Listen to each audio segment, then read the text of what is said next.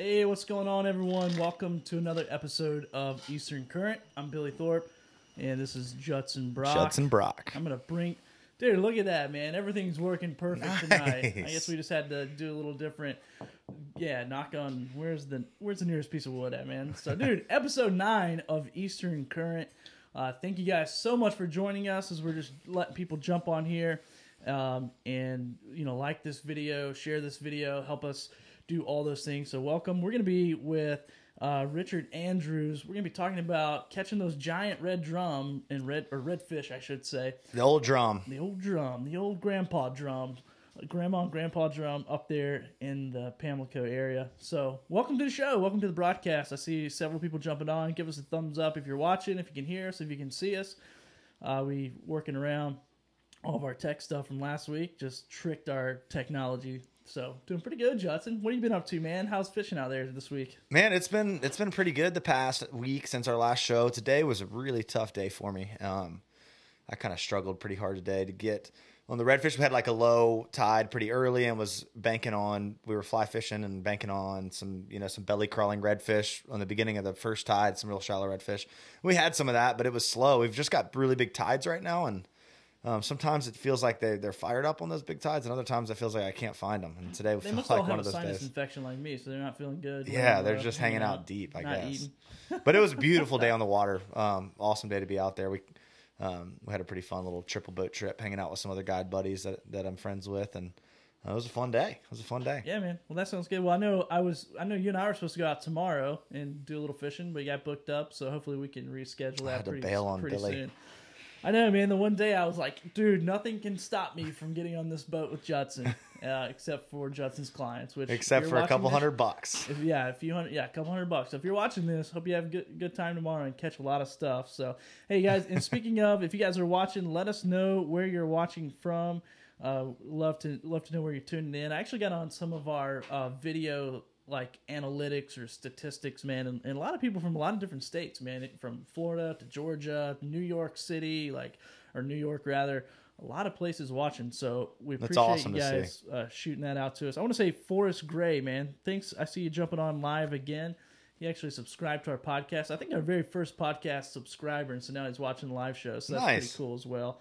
Um, yeah, man. So awesome, dude. Well, I will get into what else we have going on, dude. What do you? What do we got going on? Oh well, I just want to reiterate one time that, like Billy was saying, like share this on your Facebook and Instagram right now Right that we're now. live. That helps us more than anything get people on here. So, and like Billy was saying, go like and subscribe to our podcast. Go like and subscribe to the YouTube channel. That helps us um, like crazy, and and uh, we really appreciate it. But but go share it right now on Facebook and Instagram, like and, Billy and said. leave a comment and tell us where you're watching from and all that. And we're gonna be giving away some awesome stuff. we I got a we got the- a nice little painting to give away again. Yeah, your mom did like hooked us up again with Yeah, some she awesome is. paintings. She's digging so- doing some fish paintings. Uh, speaking us. of people jumping on, Austin Parker's with us tonight, so appreciate Austin. He's always entertaining in the comments. he is. Uh, Cameron, what's up, man? Thanks for joining us. Dave, Roger Jones, big fan of the show. Jason, what's up, man?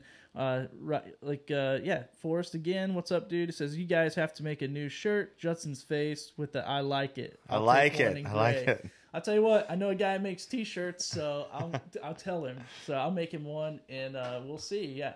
We'll, we'll get that going. So speaking of sponsors uh, of the show, we'll go ahead and get into this. iStrike, uh, you can see the logos down below us there. So iStrike, big fans of the show ever since day one. They were on the show episode three with us. Uh, jump on their website. There's a, a bulk bulk rate on there. We can get on there and, and buy some jig heads and buy some of their their equipment uh, and get up to like forty percent off, which Yeah. is just ridiculous. Like Yeah, just buying in bulk, which is what you need to do for jig heads, anyways. yeah, just buy them in bulk. Support those guys. Um, AFTCO and Marshwear. I believe you got a nice little Marshwear shirt on over there. I don't, I don't know if we can see it on camera or not, but uh, definitely like those guys and, and was rocking my AFTCO hat earlier. Love those guys. Appreciate them sponsoring. Uh, so go support those guys. Uh, Eastern Angling. Judson Brock here, taking you fishing. Uh, go go catch those red drum or whatever we're talking about. Have him take you up to the Pamlico. Are you gonna do any guide trips up that way? Probably. No, no, show. no guide trips, but definitely going to be up there, uh, up there fishing myself. I can't wait to get up there. Yeah. Well, I might. Yeah, we'll see. Maybe we'll do a little Eastern might- Eastern might angling little- excursion up there, Yeah, or Eastern, Current excursion Eastern up Current, there. Eastern Angling. Yeah, it'll be a little dual trip there. Uh, and then my business, Thorpe Creative. Speaking of shirts, we can do shirts and hats and all that kind of promotional stuff for you. And one thing I never mentioned really is we don't have any minimums. So people go like, you know, like, can I get one shirt from you? The answer is yes, we can do that. Um, that's the number one question. And then Sea Tow, we appreciate those guys. So if you find yourself in trouble, make sure you get a Sea Tow membership, or you might be paddling your way home. awesome, get caught without a go ahead and paddle. get into catch of the week, Judson. You want to take us into that? Yeah, catch of the week this week is you want to pull the slide up? Ooh. Pete Pascal with a nice redfish. He caught this. I think he was in Beaufort. I always get these mixed up. Beaufort, South Carolina this week, fishing with Captain Owen Player down there. And uh, caught this beautiful low tide tailing belly crawling redfish. Beautiful fish. he's beautiful. Pete's a great guy. He fishes up around uh, Wilmington Topsail a lot and um, catches a lot of nice redfish. He's he loves sight fishing and, and he's pretty darn good at it. I've had the opportunity to actually fish with Pete one time and um, we had a blast. Really nice guy. So congratulations, Pete. And uh, we got some AFTCO Marshwear goodies coming at you. Sweet. Yeah. So if you're watching Pete, just make sure you uh, shoot us a message on Facebook or Instagram. Um, I was gonna say tweet at us, but I don't think we have a, a tweeter set up. We don't have a twit a twit account. um, so yeah, I mean, I, I'm gonna say hi to a few more people here. We got my mother-in-law. I have to say hi to my mother-in-law. She's watching from Tennessee. Big supporters of the show. Uh, we'll get into. They live on the South Holston River, which our guest. Um, uh, Captain Richard Andrews just got back from there, so we'll maybe talk about that a little Yeah. bit. Uh, we got Don Myers from Charleston. We got Cameron watching. We got Cliff. I think Cliff is like probably coming up on Judy for for uh, like biggest fan of the show. He is. Since my mom joined her little card group, she has not been tuning into our shows. I'm a little butthurt about it. Oh, come on, Judy. I want everyone to just say, "Come on, Judy. Where are you right now?" Uh, we Uh, miss her. So yeah, he said he got the pompano painting that Judy actually painted. Nice. and, and loves that. So awesome. Josh watching from Randleman, North Carolina, and then MJ Miller. Uh, he says, "Let me know when you come up to the Neuse. I'll steer you boys in the right direction." I believe we just got invited. I Hey, like it. We'll be out there tomorrow morning. Well, dude, let's go ahead and get our guests on the show, man. Just had a lot of good pre-conversation with Richard um, before the show, so uh, I just got some notes on him here. He is the owner of Tarpam Guide Service. Been involved in North Carolina's charter fishing industry since 2001. So, uh, and, and Judson was just telling me like, hey, one of the best guides, like probably North Carolina. I mean, as For sure, far as, yeah. the fishery and everything, like knows his stuff. He's born and raised on the Tar River in Tarboro, North Carolina. So really just been fishing these waters for a really long time. Uh, and like I said, took a recent trip to the mountains, which I'm a fan of because that's where I'm, I'm from. So maybe we can jump into that. But all right, man. So you want to bring him on? Let's do Yeah. it. Pull his picture on uh, Let's or his bring him video on on up. up here. Let's see what we got. What's up, going on, man? Hey y'all, How you doing? How's everybody? Oh, Doing good. Well, uh, yeah, like like. Having me. So what was that? Thanks for having me. Yeah, for sure. Thanks for coming on. Thanks for coming on. I know we had some uh, some scheduling difficulties the first time. We're stoked we were able to make it happen. Absolutely. Um, yeah, like Billy was saying, Richard's just a solid dude. I've gotten to know Richard up on uh, up in Weldon just the past couple years, fishing up there for stripers in the in the springtime, and um, just a super cool dude. And um, I'm always hopping on Instagram and I see his his pictures, and I'm just always so so jealous, especially like the beginning of striper season when I'm like wanting to be up there catching them, and you're already freaking whacking them the whole way up the river. Um, but yeah, Richard Richard's a cool dude. If y'all haven't had the opportunity to fish with him, he's definitely someone that y'all want to y'all want to hit up. And like Billy was saying, Tarpam Guide Service is uh is his is his company. Yeah, tarpamguide.com. Go on there. Um, man, lots of good stuff on your website, by the way. I was, I was really impressed. You know, worked with a lot of guides over the last uh, several years in different projects and things. And, you know, one of the better websites. I love the stories on there, the blog, so people can go on there, subscribe to that, and check out. You. You know, more than just an advertising website. I, I like it, man. I like the, the personality of the of the site and, and doing all that. So, yeah, man. Uh, go tar and I'm saying that right, right? Tarpamguide.com. Is that correct? That's it. Tar Pamlico, is that where you're going? That's it. That's my home water. I like it. I like it. There it is. It's already coming out. I, I say I like it all the time on the show for some reason. I never say it in real life, but for some reason on here I always say I like it. But um, well, cool. Well, we're just gonna get started with some of these just opening questions, and and the first one's how'd you get into fishing? Like, what, what, where was the the love and the passion born? Well, you hear most people get into fishing. They started on, you know, farm pond or something like that. But I kind of got into it from the opposite end of the spectrum. Uh, I got in it through marlin fishing, and uh, I, I mean, you know, everybody's got that kind of that one moment where they're first hooked on fishing, and mine was I was fishing in the Hatteras Marlin Club tournament. I had a friend growing up who, whose dad had a sport fishing boat. And he, he's fishing all these uh, these marlin tournaments, and I I get invited along, and uh, I'd be I'd always be the one in the cockpit sitting out there watching the baits, you know, everybody being there asleep, hungover, whatever. and I'd, I'd, be out there watching all the baits all day, and uh, I guess I liked it from the get go. But I, I, I, was watching the spread one day, and we were pulling a this Spanish mackerel right down the middle in the short shotgun, and uh, saw this uh, peanut dolphin, this little baby baler, like just kind of loping through the spread and he was getting chased, and I didn't know it at the time. But then, a, then about a 600 pounder comes up there and literally just inhales that Spanish mackerel. And once he realized he was hooked, he, he just he came completely out of the water. Like I mean, went airborne, like tail out of the water, everything went straight up out of the water like a rocket. And from that moment on, I was hooked on offshore fishing, and from the offshore days, it kind of evolved into this. And so I, I kind of had a progression from big fish into small fish. That's awesome. Yeah, I think that would get you hooked pretty quick. Were you the only one standing back there that saw the bite and everything? Well, I saw the dol- I saw the little dolphin. I was like, "Hey, look at that!" And by, by the time you know, by the time everybody started looking back there, they, everybody saw that big blue one come up there and inhale that mackerel. And That's awesome. He, he, ended up, he, ended up breaking us off, but it was pretty cool. It was it was it was a cool moment. I'll I'll, I'll remember that from forever. That's super cool. That's yeah, super cool, dude. I know one, the only time I've ever seen uh, uh, a like big fish like that come up in the spread, it was like a school bus. So when you see six, 500, 600, 700 pound fish come up out of the water, I mean, it's like exciting, but then, you know, my first thought when I was, because I, I, had a similar experience, like everybody like kind of chilling or whatever.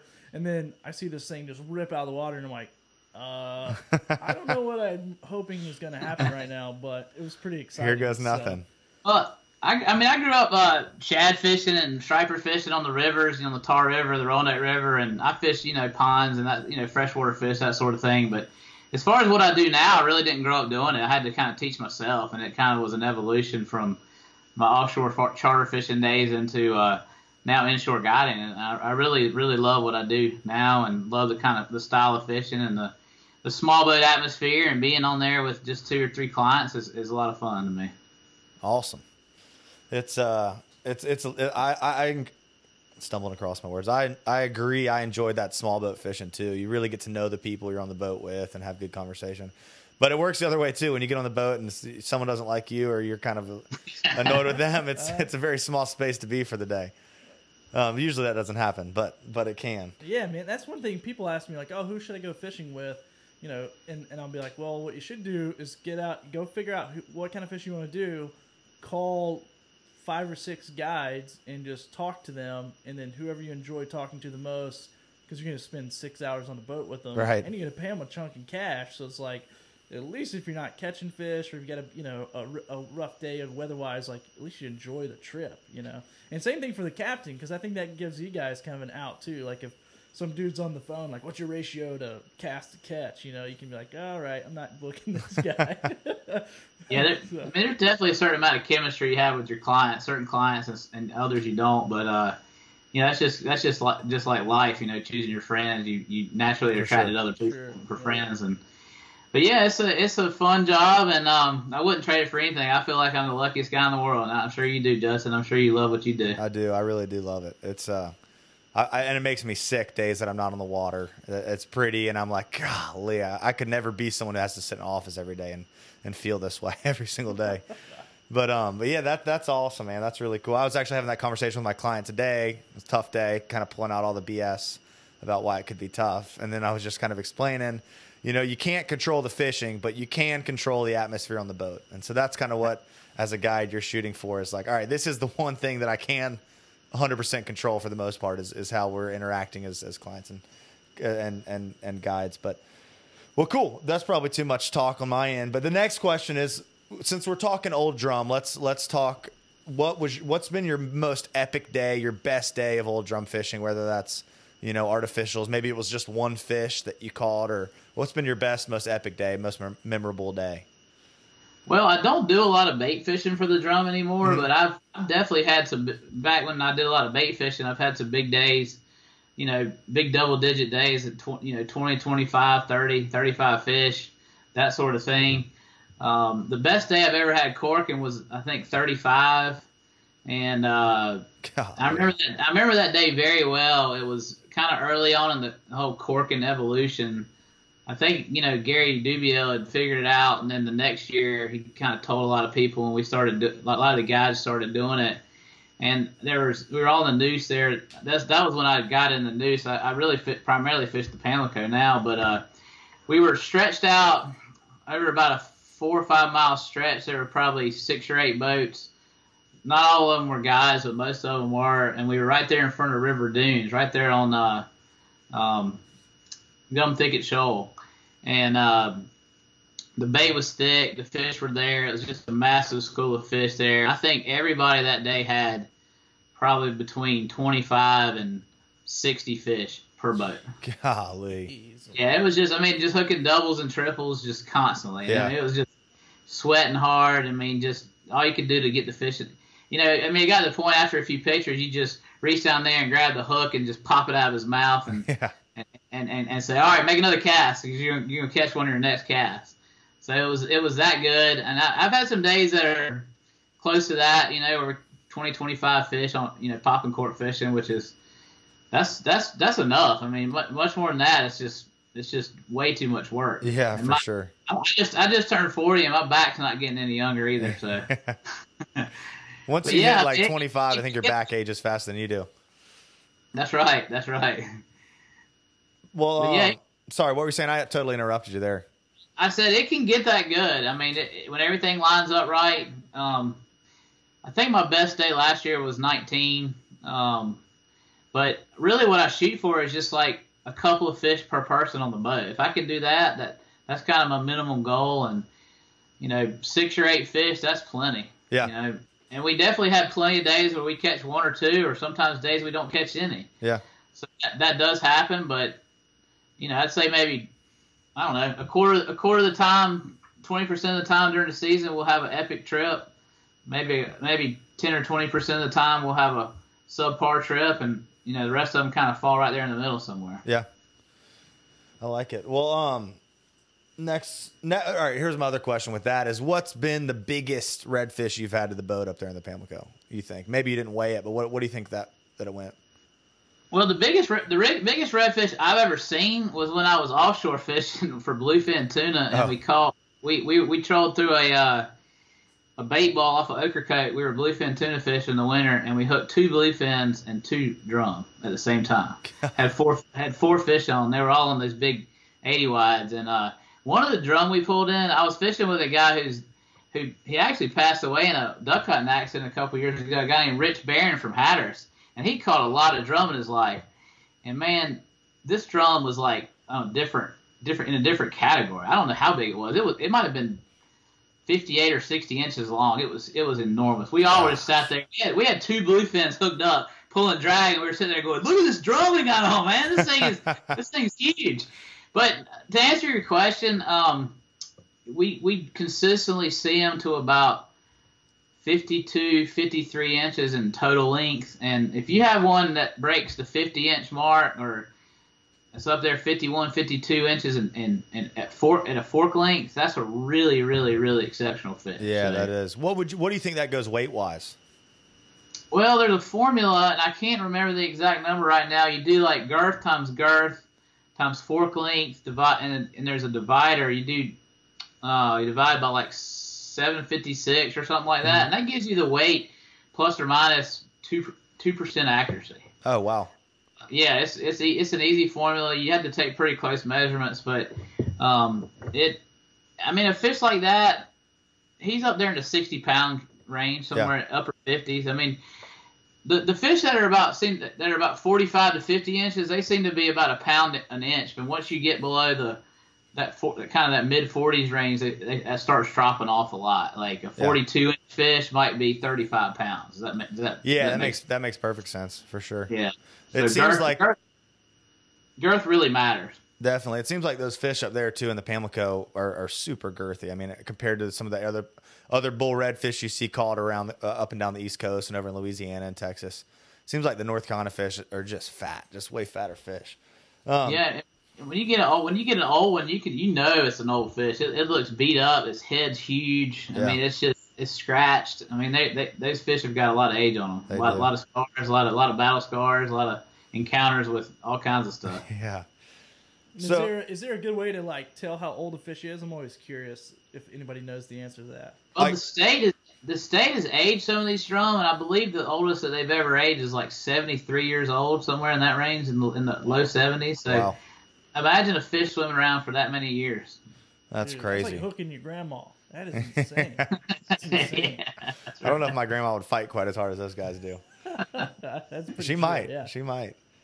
Um, so, all right. So, we're going to jump into kind of the, the fishing topics here. So, the first thing I wanted to go over is kind of where to fish. So, if you're if you're going out to the Pamlico Sound, like w- what are you looking for? Like, if you're going to go fish a new area, maybe you're looking at Google Earth, whatnot. You're and you're just kind of assessing what what uh, what you've got that day and conditions. What are you looking for as an area that might hold these big these big drum? Well, first and foremost, you need a good contour map in your chart plotter. I, I have a one foot contour map that I use, and um, and that really helps show all the breaks and, and ledges and basically what I do. You got to be prepared to do a lot of riding, especially early in the season. The first week or two of the season, like right now, I'm in that early season mode where I'm riding, I'm looking. I'm I'm covering a lot of water, and and what you're looking for is areas where bait is really heavily concentrated. Uh, it- most people who tarpon fish know this. They look for the most bait, and usually that's where the tarpon are. Uh, same goes for the drum, but it's a tricky thing because year in and year out, these drum show up in different areas. The bait shows up in different areas. Like an area that, that you might be be fishing one year that's dynamite one year, the next year there's no bait there, and there's no drum there. So you, you got to be prepared to ride around, and, and most of the time the, the bait is on the ledges, on the breaks. You know that, that inside break going from four to seven, or that, that we have like basically two breaks. You know our, our our river is a tabletop. It comes off the bank at about three to four feet, and then drops to about there's a drop off from about four to seven, and then you have another tabletop. It goes from about seven to twelve or thirteen. You know that's kind of a, a rough estimate of that. Um, the Neuse River has a lot of real pretty shoals and ledges. We have some, not quite as many on our end. Um, but those those ledges of those shoals and just the, the river banks are where all the bait is where all the bait is. And but what you what you what's also important is the bait's behavior. And like so right now we're not seeing a lot of bait up on the surface because the water is fairly well oxygenated. A lot of times late in the summer like this, the water will go dead and it will push all that bait up top and, and, and, and closer to the banks. The water in the middle of the river will go dead. It will go anoxic. There's no oxygen in it. So the bait will rise up to the surface and it will move over up to the flats near the banks where it's where there's more oxygen where it can breathe. So you'll find most of your bait along the ledges or up on the flats that, late in the summer like this.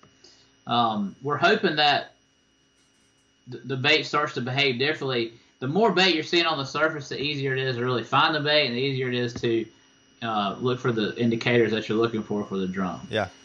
When it's down like it is now, you have to use your sonar, and you just have to kind of get you have to get in an area, and you have to kind of observe. You'll see a little bit of bait flipping here, a little bit there.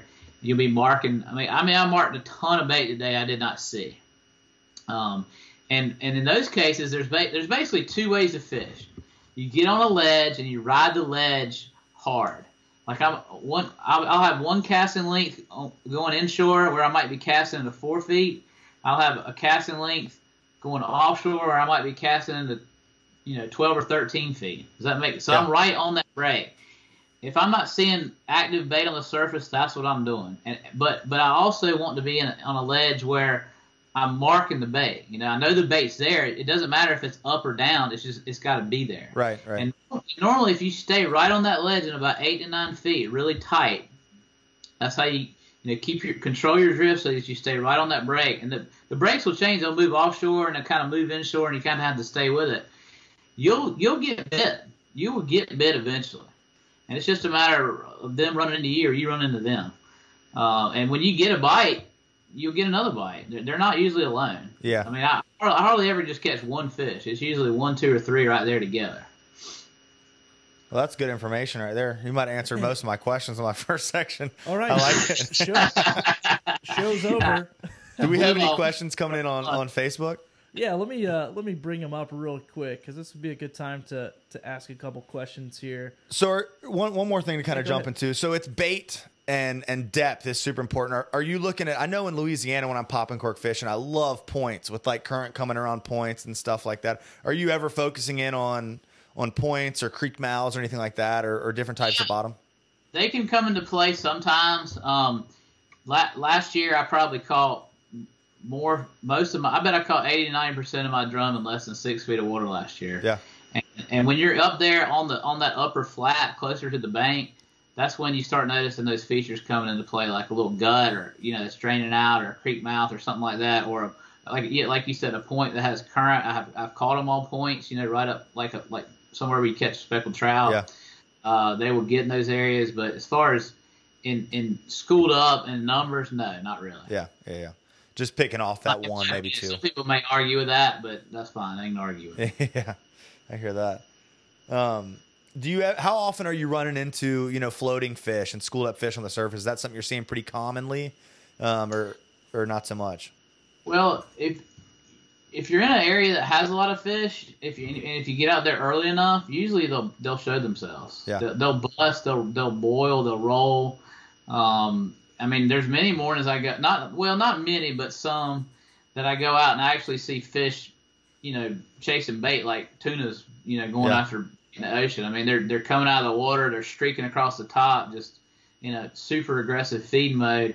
Um, I see that some. Sometimes you're just you're just in an area. You're on a ledge. You might not be seeing a lot of sign on the surface, and all of a sudden one just pops up right next to you, and you you know you see a big boil. Usually when you see that, you can throw on them. You'll get a bite out of them. Okay. Nice. Cool. Well, man, I- I'm going to read some questions here, um, kind of through the broadcast from our Facebook viewers. Uh, so we'll get into some of these really quickly. Um, well, I- I'll come back to that one because they're asking like, how do you rig some stuff? So I think we got some questions. Yeah, we'll get into that the with the. Uh, so here's a pretty good question. You may have answered this already. I'm not. I, I don't think you did. You're giving so much good information. I'm like trying to remember everything you said, so I don't repeat a question or anything. Uh, but but so you're you're out there. You're on the water. You're saying, hey, you might have to do a little traveling to find these fish. So just for our viewers, like when is a good time of the year to start targeting these fish so they're just not driving around aimlessly and you know middle of summer looking for them, or like is there a certain time that you see them start to push into that Pamlico area?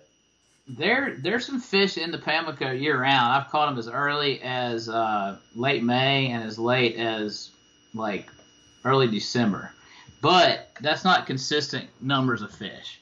Uh, I would say con- consistent catches usually start somewhere in the late July, early August timeframe, with really consistent fishing really getting going more around the mi- middle August. Like so, we're we're like a week out right now. Like we're catching fish right now, but it's not as consistent as I would like it to be, and the numbers aren't quite as high as I'd like to see them. But that that will change very quickly. There's still a lot of fish out in the ocean. Um, the guys out of Oregon Inlet are still catching them good out there. There's some big schools they're encountering. There'll be there'll be more and more fish coming in. Usually by mid to late August, like the third, fourth week of August, it's it's it's it's as good as you want it to be. Okay, and what causes those big old drum to push into the bay or to, into the area to the sound there? Well, they're though they're they're here to spawn. Oh, Um, gotcha. they- okay. Yeah, they spawn usually around um, deep um, shell bottom areas in the sound, and um, so that's what they, and they spawn heavily around the full moons of, of August and September. Okay. And the time, the timing of the moon, uh, when that you know whenever you when you have the moon, if it's like late in September, then the fish will be be here later uh, than normal. Or or if you have a, a full moon that's that's in early September, then you have another one in early August. I mean, sorry, early October. That's the fish will hang around a lot of times for that October moon, and and, and, and there'll be some spawning around it. So everybody always asks me like they want to book their trip around the moon, but really unless you're not you're fishing bait in the late late evenings and, and nighttime fishing, the moon the moon fishing's tough for what we do, like cork, court fishing and artificial fishing in the mornings. I don't really like fishing around the moons. It can make those fish not bite very well during the day. Okay, gotcha. Well, and speaking of, I guess we can kind of get into this part of the of the show. We got a lot of questions about how do you rig stuff like artificials? How do you rig popping corks? What artificials underneath them? Um, so man, maybe we'll jump. Yeah, right I'll into jump that into it and we'll see Yeah, what- let's go ahead and do that. So, is there a specific cork that you like to use? I know those blabbermouths are getting pretty popular, a little bit louder cork. But is, are you using a couple different kinds, or you, you got one you really like? No, I'll, I'll show you. I've got some props here beside me. I'll Nice. reach down down for you. We love a good Perfect. prop. Perfect. This is when the tips start rolling in. yeah. So let's see. Let me let me put that in front of the camera. Okay. So that's the cork that I used to use a lot before the blabbermouth kind of came on the scene. Yep. That's the Bomber Paradise Popper. It's a good cork. I, it seemed to outcatch, you know, some of the other brands that I used. Uh, I mean, I, I had I remember one day in particular where it really that was the only I had several different corks out, and that was the one that that was getting all the bites. So, you know, I'm not stupid. I noticed that. I was like, okay, well, I'm gonna start using all bombers, you know, and Right. and pretty soon I was using all these, and I used these for a long time. And then the the blabbermouth came on the scene, and um, and that's pretty much what I'm using mostly now. But I, I feel like some days, you know, maybe when it's super calm, this cork might be a little too much. So it's it's not a bad idea to slide that that little bit more subtle cork out there Yeah. and see if you get a few more bites on it. Um, this this cork shines on a, on a choppy day. It really shines on a choppy day. I've seen it where it will outfish uh, everything else you have uh, with there's if there's any amount of chop on the water. You know, significant chop. I mean, you know, a foot a foot or so, a foot and a half. So that that's definitely what you should use it. But I would say have a variety. Have have uh have some of these. Have some um, some bombers maybe or whatever else you like. I, I know there's there's everybody's got their favorite brands and everybody's trying to come up with the, the latest and greatest cork. You know, it's but it's really all the same. Yeah. And, and so for the for the people like me who maybe aren't used to um, fishing fishing with corks or whatever, can, can you kind of go into detail and explain a little bit about what the purpose of that cork is? Like, what are you trying to get that thing to do? To I mean, is it just make a So- bunch of ra- ruckus, racket? Right. Yeah. Yeah. Just make as much noise as possible. Um, it's it's really that simple. Um, you know, a lot of people nobody really knows what the drum think it is. I think it sounds a heck of a lot like another drum feeding. Is what it sounds like. Yeah, it me. definitely Oh, does. okay. I mean, 'cause I've, I've been around enough drum uh, bulling on top, busting bait on top, and it sounds just like a drum rolling on the surface. So it, they're they're just naturally curious. They're going to come check it out. Um, what I tell people also is, you know, when you pop it, you don't just want to do a little little wimpy pop, you know, like you would on a trout cork. You want to kind of sweep that thing through the water so it goes swoosh, swoosh like that. And I tell people that the pop is, I mean, the pause is just as important as the pop. So it's good to let it sit there for a second. Some days the fish seem to like it uh, if you wait a little longer. Other days they want a little bit more aggressive. It just, you know, it's kind of like topwater fishing for any fish. Let the fish tell you what they want. Kind of, kind of vary it up and whatever's working, kind of go with that. Okay, so kind of change up the rhythm a little bit and mess around and see what hits. Yeah, I don't, but I don't. I don't sit there and like go pop, pop, pop, pop, pop, or anything like that. I mean, I don't, I don't. I don't ever. I don't ever fish that aggressively. I'll just go. I'll pop it and wait. I, I tell my, my clients just to pop it and wait three or four seconds, and then pop it again. That that way it gives the the lure time to settle on the leader, and that's when you're gonna get your bite anyway. Are you varying how hard you're popping that depending upon depth? Like if you're a little shallower fishing, are you not popping it quite as aggressively, or or vice versa? Or are you kind of just the same way all the way across the board? Uh, yeah, that's a good question. Um, sometimes, yeah, when we're getting a little shallower, like I found a big school of fish in two feet of water the other day, and we we hooked one uh, before they really realized we were there. And uh, I looked down, and there was just redfish everywhere, like giant reds, all swimming all around the boat. You know, mud puffs coming up. They were really startled, and the other guy had on the boat tried to. He was trying to get a bite, and they just wouldn't touch anything. They just wouldn't touch it. Yeah. I mean, they were they, they were spooked. They were freaked out. I, I- I think they didn't want that big heavy bait, you know, that big loud bait anyway. Maybe something more subtle could have gotten one to eat at that point. Uh, so yeah, I think I think if you're in shallower water, um, it could definitely help to be a little more subtle. However, I've caught a lot of fish with a pretty aggressive pot throwing in a bait in real shallow water. Yeah. So yeah, I, mean, bet it, I that- bet it really depends on like how far away that fish is from it when you pop it. If it could be a foot deep, and if the fish is ten feet away and you pop it hard, he's good. But if he's a foot away and you just smack the crap out of it, that probably is going to spook a fish. You know. Away. Yeah. So, Yeah, I mean, if we if we can see these fish, I'm sure there's, you know, if the water were clear enough to see them, I'm sure that they, they react differently. You know, there's Yeah. some that probably just run away from it. They see it and run away from it. There's some that go straight to it, and Yeah. you know, they eat it like it's their last meal. Yeah, those are the Uh, ones you want anyways. that's that's right. But I've, I've thrown into a school of bait before, and um and, and hooked three or four fish at, at one time. I mean, you, you know, when there's they're, they're usually not by themselves. There's usually more than one fish in a pot of bait. Like when you're really in them good. Sweet. Um, Go ahead. And, and what? uh, So, and this is questions coming up a lot in the in the chat here. I mean, man. By the way, if you guys are watching, we appreciate you asking questions. Like this is the fun part of the show, just the interaction. Uh, so obviously, a lot of lot of motion going on here, a lot of popping. How are you rigging this up, man? How are you keeping everything Okay. stable on there? so let me get a prop. Hang on. Yeah, no worries. Um, I've got what I use. I'm a Z-Man guy, so I mean I love Z-Man baits. They're just there's so many advantages to them. Not I mean the biggest advantage is they catch fish. It's a good Um, one. But but they're super durable. Um, a lot of times when we're fishing these uh, these baits, we're fishing around bluefish, small bluefish, and these things are bluefish. Firstly, bluefish proof. I mean, blues cannot bite through them. Uh, other brands, you will lose a lot of baits to bluefish. So, but what I what I this is a bait that I've been fishing with for right from the get go before they became uh, really in the last couple years super popular. But this is a the six inch uh, Z Man swimmer, which is a just a solid bait. Um, that's what that's all I fish with. That's all I use. And um, Always chartreuse. no, that's just that, that was just the color I picked up. I use some natural colors uh, sometimes. Um, let's see, you know, some some kind of bait fish looking patterns like that. Something more if the water's Yeah. a little clear. Um, I'll use uh, white's always a good one. White's white's a go to. Um, you know, just solid, solid pearl. Uh, let's see. This one happens to be a pretty good one. This gold. I like that one a lot. Um, so, you know, I, really only use about three or four different colors, and I stick with them, and that's it. Um, I don't think the fish are too picky. Um, if, if one of them seems to be, it's really rare that you see that one color is really getting singled out by the fish. Um, most of the time, we're throwing different colors, and they're all fishing about the same. But I have seen I have seen it where one color's getting all the bites, and I'm pretty fast. I'm pretty quick to switch over to every. I'll, I'll put the same color on every every pole if I have to, whatever's catching. Nice.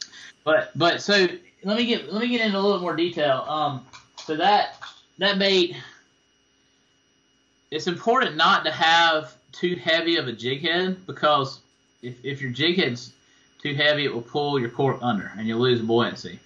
So what we use is a quarter ounce jig head. This is the Z-Man Headlocks j- jig head and it has a six aught hook.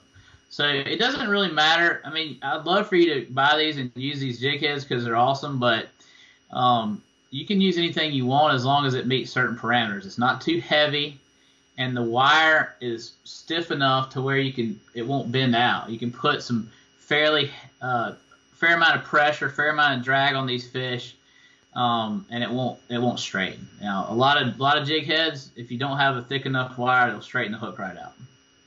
So, and that would be a bad scenario. You'd lose a fish because of that. This is the, again, this is a Z-Man headlock jig head, quarter ounce weight with a six aught hook, and the hook's just got a bigger bite. Uh, even the six aught, when you're when I'm pulling out of their their giant mouths, it, it, it looks really small in there. So you could even use a bigger hook, but it's hard to find a jig head that's got a much bigger hook with that small amount of weight on the head. Awesome. How about uh, you know, kind of breakdown as far as how you're attaching your cork to? Are you going straight to braid? Are you putting some some uh, leader above it, and then Well, yeah, I, I, I have I've done both. So I'm, I'm kind of I kind of toy with it sometimes. Um, I get I get to where I like to attach the braid directly to the top of the cork a lot because you don't have that leader there and that leader not getting in the way. But I have fished with a, maybe like a 50 or 60 pound shot of leader above the cork, and that makes it nice if you want to switch, uh, you know, switch your cork over to a top water bait or something, you already have a leader tied on and you don't have to rig. You, you know, you just got it ready to go. Uh, but this year I, have I've lost the leader and I've gone to just a straight braid connection. The only disadvantage to that is sometimes this braid will have a tendency to want to get twisted around the top of the cork or you know around your swivel or something like that. You have to keep an eye on that. It doesn't happen very often, but it can. And if the thing's twisted and fish hits it, you're done. I mean, you'll break them off. Yeah. Uh, so about a two foot below that is about a two foot shot of uh, 50 or 60 pound. I like the 60 pound. I use Berkley Big Game monofilament. I don't. You don't have to use fluorocarbon. I really like that big game. It's strong. Uh, it's uh, it ties a really nice knot that cinches down nicely. A lot of that heavier fluorocarbon is a little brittle, in my opinion. And I don't think it makes any difference whatsoever in the amount of bites you're going to get fluorocarbon versus mono.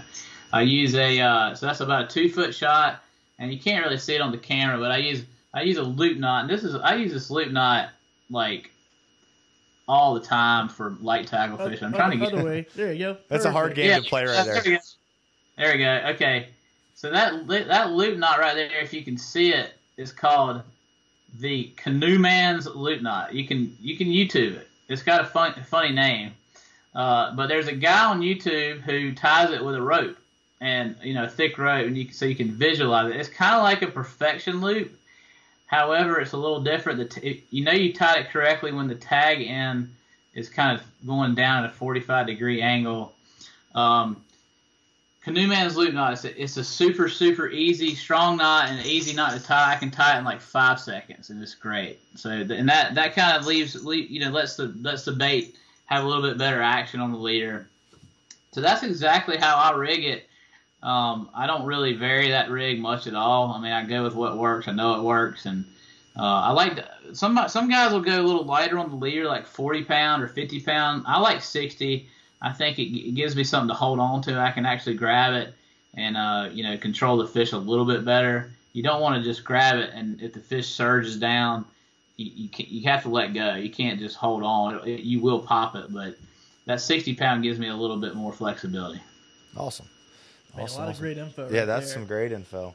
Um, if you're not, so I wanted to talk about top water too. Kind of jumping into when you're fishing top water. Are you looking for certain things? Fish already on the surface, maybe fish blowing up. Do you ever just search like you're doing with a with a cork with top water? Yeah, yeah, and with, with with people on the boat, I can I can use them as tools. So I've got you know like let's say I have three guys on the boat, I'll have two of them throwing a, a cork, which sometimes you know, which I'd say most of the time outfishes the top water, but man, some days I've seen it where they just want the top water. It's really strange. I'll have like two guys fishing a cork and one guy fishing a top water bait, and if they're if they're rolling on the top water bait more, then I'm switching the, the cork guys over to top water. So it's just like again, it's kind of like let the fish tell you what they want. Uh, but if they yeah, if they're if they're actively up on top busting bait, you absolutely throw a top water. Yeah, yes. Yeah. But I've got many many bites in the blind uh, throwing a top water bait.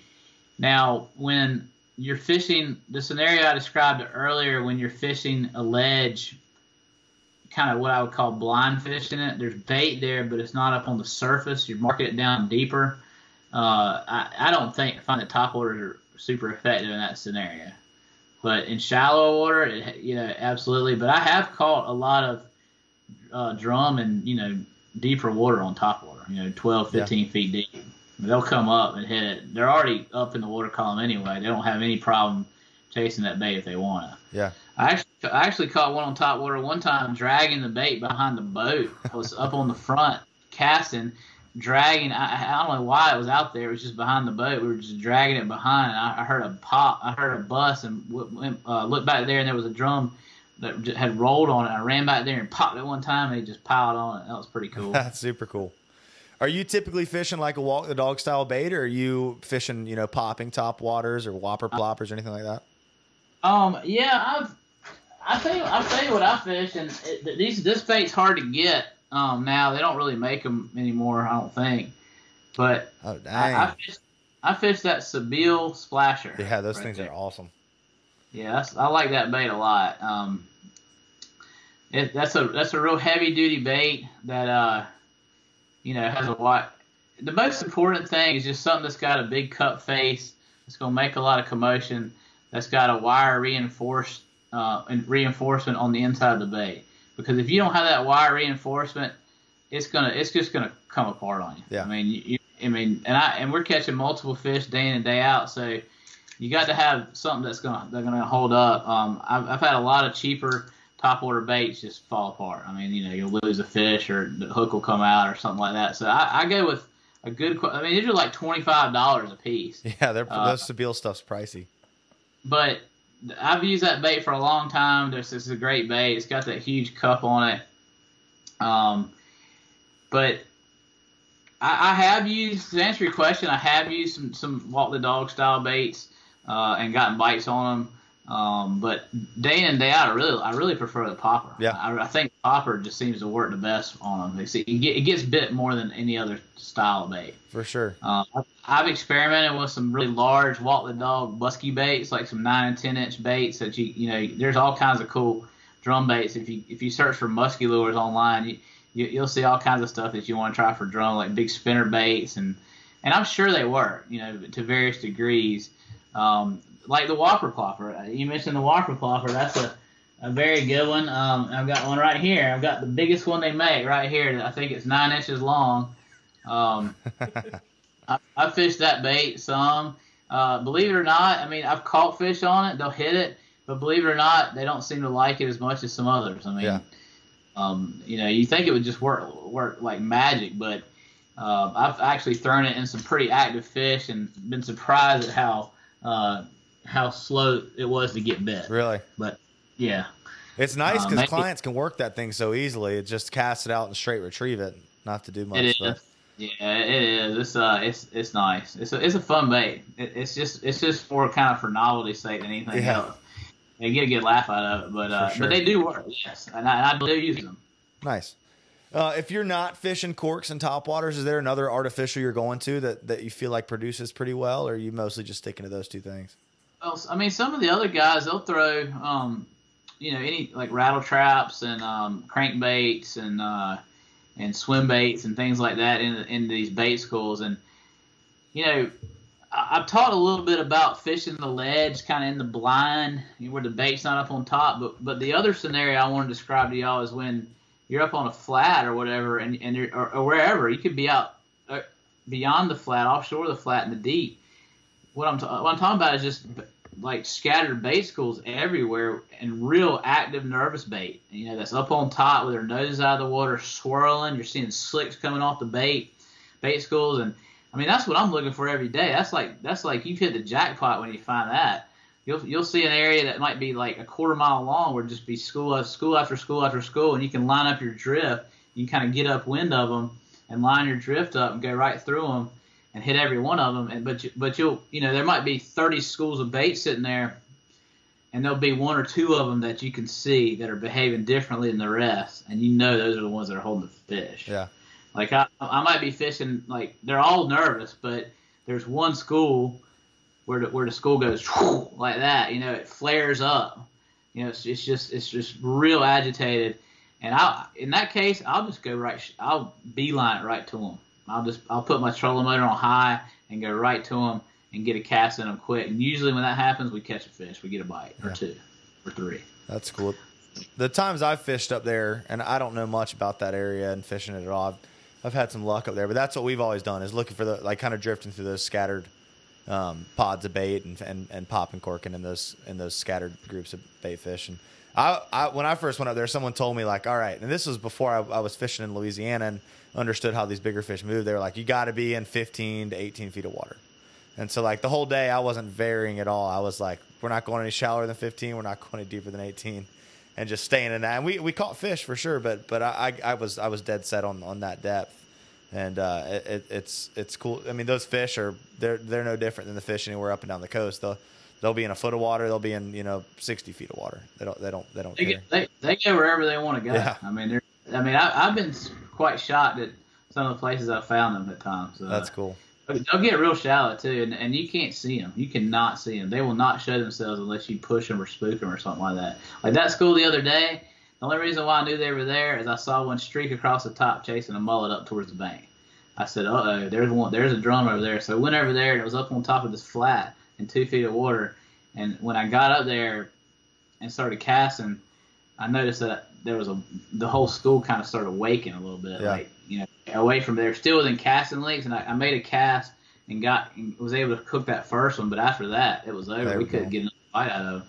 Then they popped up about hundred yards away, and we, we got a, we caught a second one out of them, and then I got a third bite, but but they that was it. They, we spooked them twice, and they were done. Yeah, yeah. And when you say casting distance for somebody who maybe just has a boat, they're going up there, they run up on them, they see them start boiling up. Like what? How how like what kind of distance are you staying away from that school of fish so you don't do any more spooking Well, I tell, or I do tell, damage? I tell?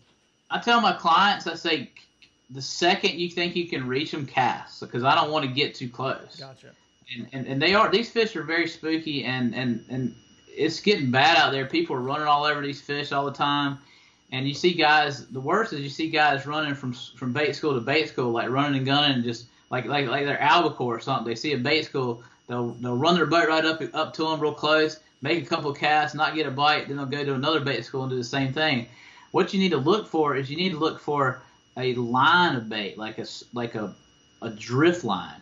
So you need to identify an area of bait, get upwind of it, go out and around it, stay away from it, go upwind of it, and then drift into it and make a long drift through it.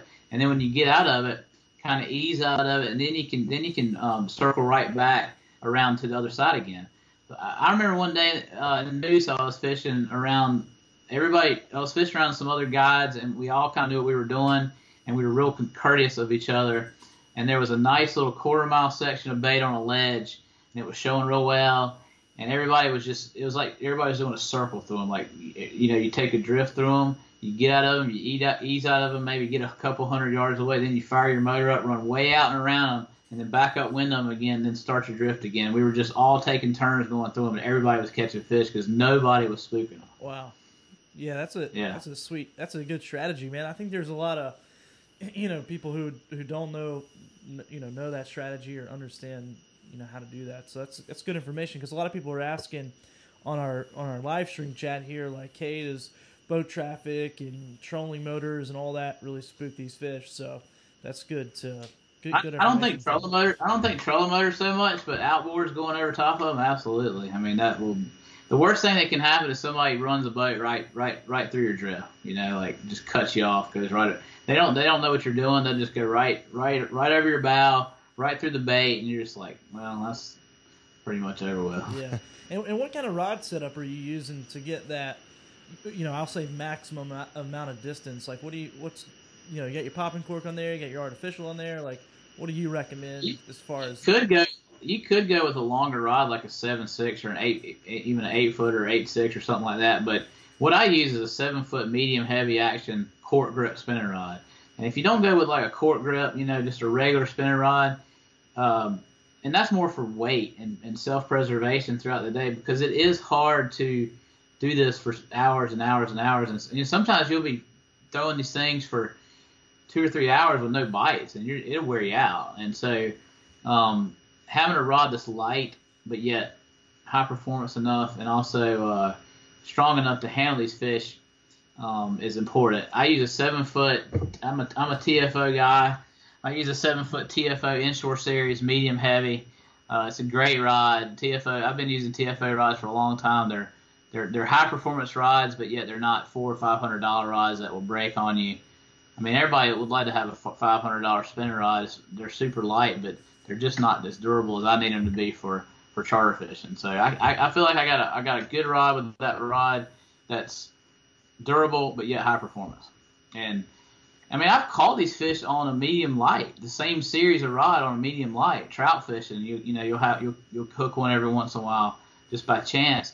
But that medium heavy cork grip of any of any good rod manufacturer is probably what you need to shoot for. Okay, excellent. And, and what kind of reel are you putting on there? How heavy is the reel? Like, what kind of setup you Um, have there? I use a. Uh, I've been using these. Um, I'm a Daiwa guy now, I, but I used to use Quantums, and I've, I've still got a lot of these uh, uh, Quantum Cabos.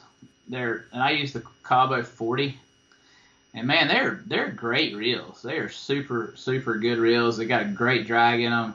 Uh, they have they are bulletproof. They've been very very tough reels for me. They're they're they're a lot tougher than your average 4000 series spinning reel. I've used some Shimano's that had the felt drags. The felt drags do not hold up on these fish day in and day out. I've been this is like the I think the sixth season I've been using these Cabos. Oh, that's Same awesome. same reels.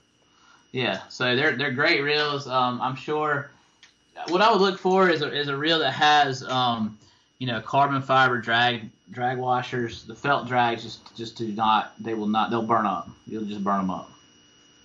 What uh, what pound braid are you fishing on those reels for those fish? I fish Forty pound braid. 40 I fish braid. a. Um, I use this this brand um, that my, my one of my guys that helps me out with a lot of my my overflow uh, charters. Uh, Scott Wood. He turned me on to this this brand. This is called SeaKnight Monster. 40 pound uh, W8. It's a it's an awesome braid. It's an eight strand braid. You can order on Amazon. I don't. I think it's a Japanese company, honestly, but I just love it. It's it's really smooth. It casts a lot further than most braids I've used. Uh, I used to use Finn's braid, but that's by far a superior product there. Nice, that's awesome. I should have I should have had a uh, Amazon affiliate link so I could just pop on there.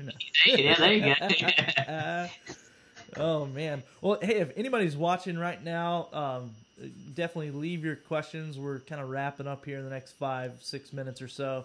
Uh, so be sure to to leave your questions. If I don't even know how we can have any more questions, man. You've answered so many questions just by sharing your knowledge and your wisdom uh, of that fishery and, and fishing for years, man. It's such a great uh, dude. It's almost been an hour. It's like how in the world have we That's been crazy. It feels like we're for talking for like 20 minutes. Yeah, it's been great. It's been great. Well, I'm glad. I'm, yeah, I'm glad to share it, and I'm thank y'all for listening. Do you want to give us a quick little rundown? I know you don't do much bait fish anymore, but I know there's some guys out there that do it. Kind of what you're looking for when you're bait fishing, kind of quick setup and, and whatnot. Yeah, I would say one one piece of advice for bait fishing is use as much as many rods as you can. Like as many rods as you as you can put out. It, it helps. It really like a does. cat help. fisherman. Because, because you're think think about all those baits as a collective chum slick, right? Yeah. Like I I don't chum, but I fish a lot of poles, eight or ten poles if I can, and uh, when I bait fish, and so all those baits going in the water, that there's your chum slick right there. So you don't need to add more chum. I've I've always been a huge fan of mullet. I, I've used primarily mullet. A lot of guys use menhaden. Uh, and they and they work just fine in a lot of a lot of circumstances. Sometimes they work better. Uh, you know, fresh caught menhaden, you throw a cast net, uh, you know, get get all you want in a lot of places. But uh, I've always actually gone through the trouble of, of buying or you know mu- fresh mullet, and just because I, I had confidence with it, and it seemed to work the best for me. Okay. Uh, you know, your Owen Lupton rig, that's just, you know, everybody knows how to, you know, if you don't know it, go online, you can find it. Uh, you can buy them in stores pre-made, uh, the local tackle shops. Uh, but I would say fish as many rods as possible. And, and what you want to do is either fish a good ledge, a really sharp break, or fish uh, some oyster oyster bottom if you if you know where that is. So the, these drum will they cruise these oyster lumps uh, deep and shallow lumps in the sound and the rivers and um, that's where you want i mean there's basically just two places to set up for bait fish a, a sharp ledge or a shoal edge of a shoal end of a shoal or oyster bottom and that's that's it's really that's that's where you want to be that's where you want to be anchoring Gotcha. Gotcha. And, and are you using uh, Google Maps or anything before you go out to kind of spot these things? I know Judson and I are going to do a, an episode next week where we're talking about reading Google Maps and doing that. So I'm always curious to ask captains if they use that or if you just you've known the area for so long you just kind of know what you're doing there. Um, well, the, you can see some of those ledges on Google Earth. Um, you know, this, you can see the sand coming off the bank and drop where the drop offs are. So you can see the shape of some of those shoals in some in some cases if the if the imagery is clear enough. But um, really, just a good chart. That that that one foot contour map that I have really helps, and you can get that on that the Navionics uh, site. You can upgrade your chip to a one foot contour. And I, I've, I run a little ranch unit, and there's a way to actually make your own contour map with that. I haven't done it, but some of the guys who lake fish with those units do it, and that could be a very useful thing if, you, if you're really tech savvy and can figure that out. But I, I might be a little old old for that. I mean, I'm I'm amazed at that being that tech savvy. So, It's crazy some of the stuff guys are doing in the bass world now with electronics. oh man. yeah, I, I can imagine some of that stuff, like some of the Garmin Live View and some of the other uh, more live feed um, graphing could be pretty pretty beneficial in the side scan and stuff for the for the redfish up there. It, it can, but but you got to remember that that our, our ledges and, and slopes and breaks in the sound and the rivers are, are usually fairly gentle. So there's nothing there. I mean, there is some stuff that's kind of relative to other stuff more dramatic, but not it's not like a lake where you've got you know underwater cliffs and you know just a lot of hard structure that's uh that's buried. I mean that's underwater and all that. It's just kind of it's it's it's pretty subtle. Really, just a basic chart. If you know how to read a chart, can really be super helpful. Yeah, just yeah. study it. Just study it and really familiarize yourself with it, and, and pay attention to your sonar when you're out there riding over these areas because you'll see, you know, you'll you'll be able to ground truth all that stuff. For sure.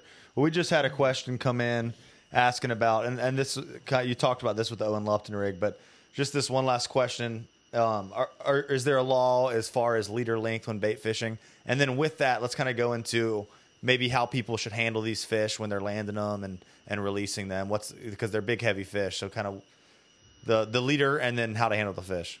Uh, the only well, th- there is a there are specifications on the uh the, the type of rig you know with your Upton with your Lupton rig, and I think I think the specifications are the length from from the hook eye to the weight has to be less than six inches. So that's really important.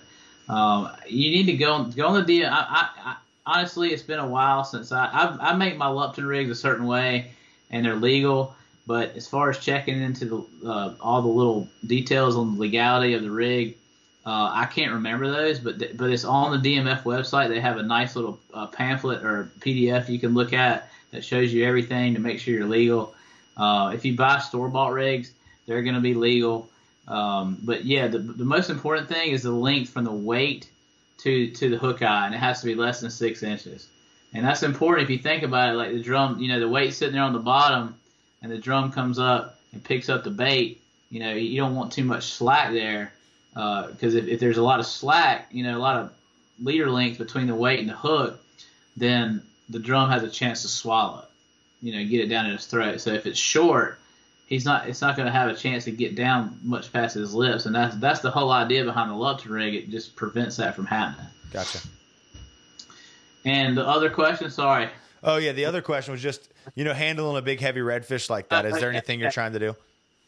So just the most important thing is just don't don't grab him by the mouth or gills and, and put all his weight on his head. So just reach down and support his belly. I, I don't use a landing net. I just reach down. I just grab the leader and I reach down and I'm like I grab the leader with one hand, then I reach down with my other hand and grab him on the tail, and then the hand goes off the leader and I go right under his belly.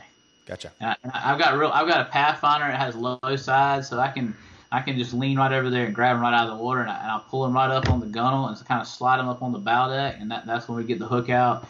The most important thing is just supporting his weight, keeping the fish horizontal, supporting his weight under his belly. Yeah. You know, don't mishandling a drum. You can de- you can definitely mishandle a drum by grabbing him by the gill plates or grabbing him by the mouth. Don't use lip grippers. Don't grab him under the gill plates. Um, you also, if, if you grab one out, if you pull one out of the water to take a picture, it's crucial not to leave them out of the water more than about a minute. I mean, seriously, 30 seconds, 45 seconds. But once you leave them out of the water past that point, the revival process is tougher. Like I, I, I, sometimes I'll make that process 20 or 30 seconds at the most. Like I'll tell people, have your camera ready. When I pull the fish out, I stick it right in my client's lap. Click, click, click. Grab the fish.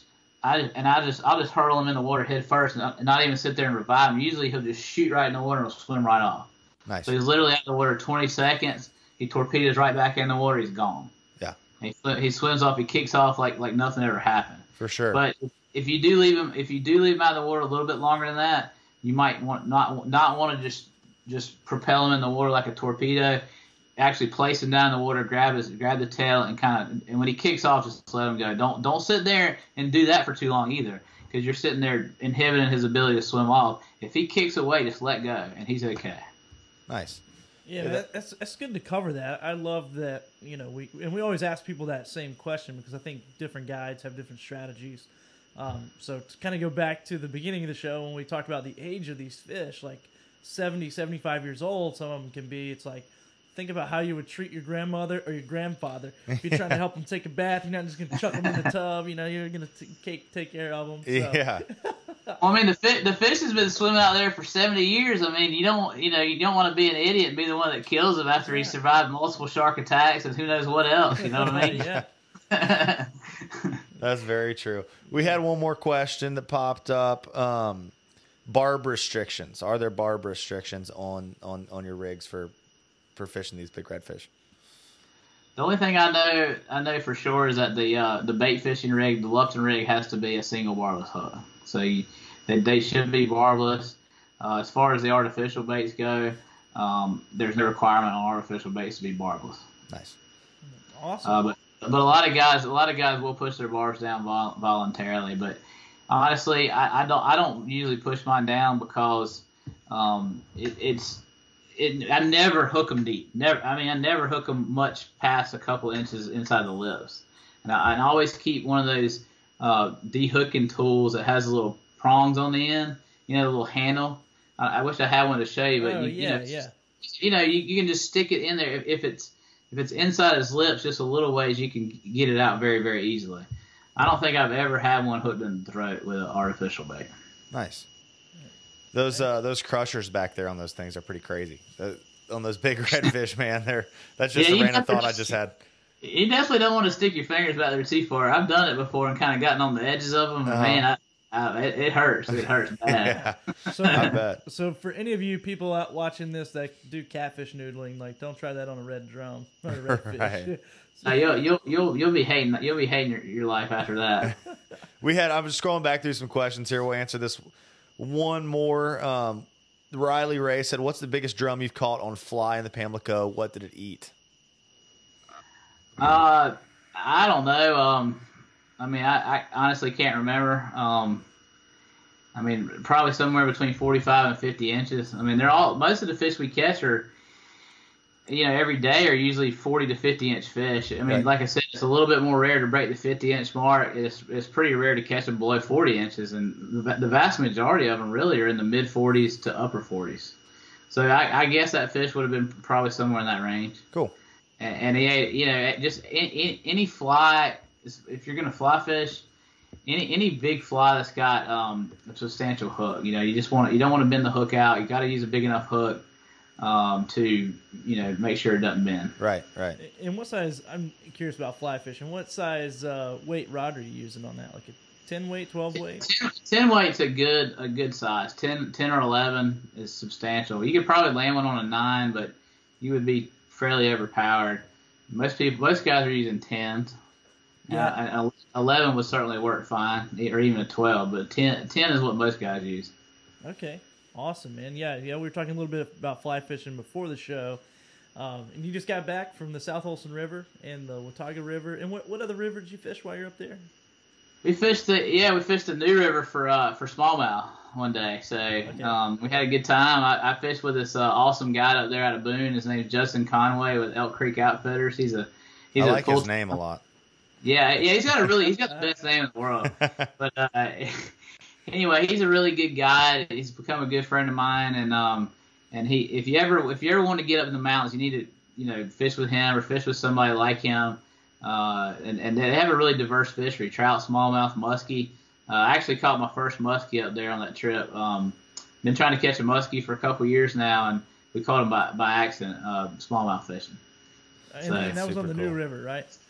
That was on the New River, Oh, yeah. New- oh, yeah, I got you. Yeah, and how big was that? You told us again, but It was it was 40 inches, and that Nice. That fish is hard. That's a hard fish to catch, man. Those fish are tough. They're That is. they are. Yeah, Just, Justin calls them. He calls them not the fish of ten thousand casts, but the fish of ten thousand dollars.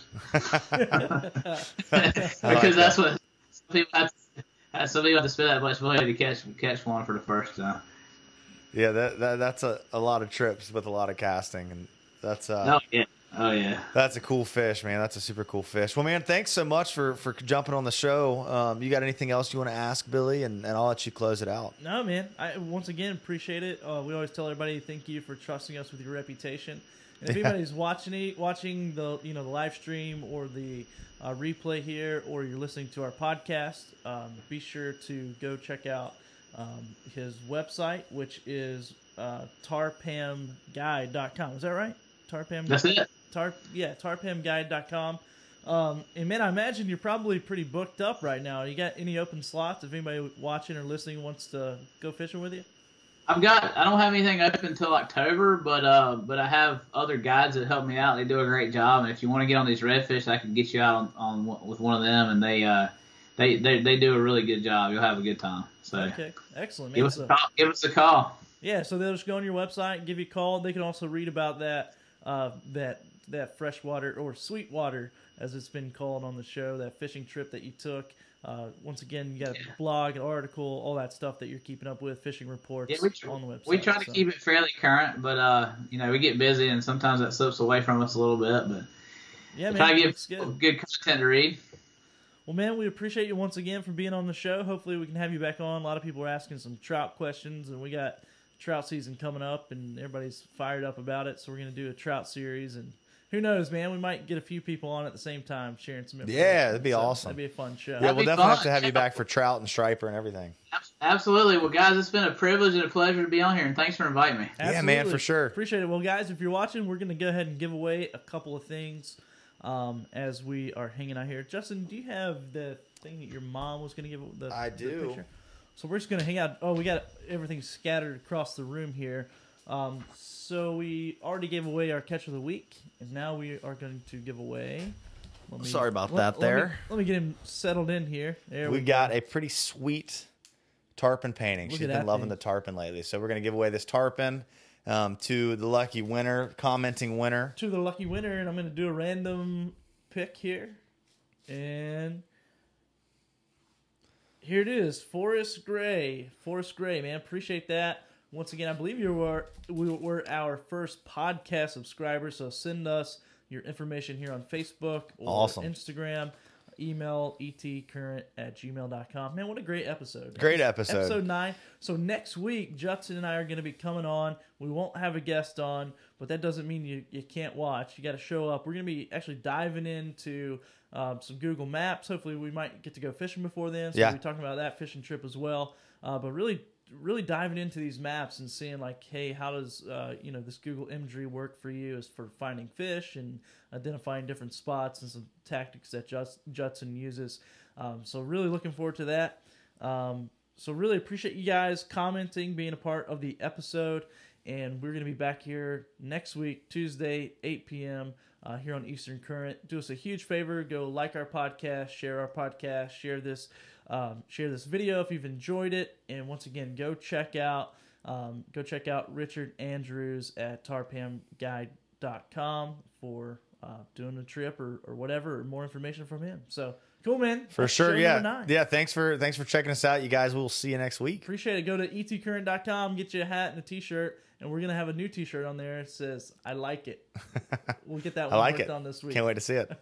See you guys. Have a great night. Peace.